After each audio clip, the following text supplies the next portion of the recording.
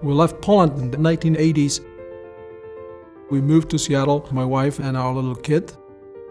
I was two years old when I moved to the United States. My dad was expelled from Poland.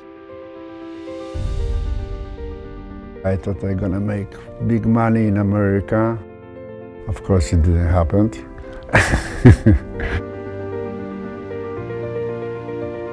The Polish Hall is essentially a place to gather. I came to the Polish Hall even before I was born. It is something that is passed on by generations. Every little town had some group or some club. Polish organizations were very active.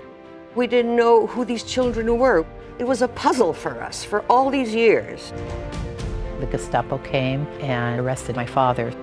He was sent to Auschwitz.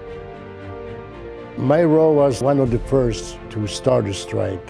I was in prison for 345 days. They said, if you want to emigrate, do it.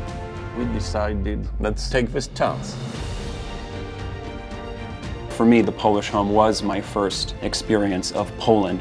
It's like finding a home away from home. If you look at the last uh, 20 or 30 years, the community transformed itself into an open cultural hub that shares its values and traditions.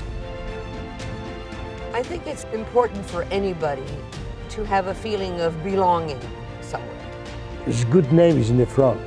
Polish home. That means we feel like we are home.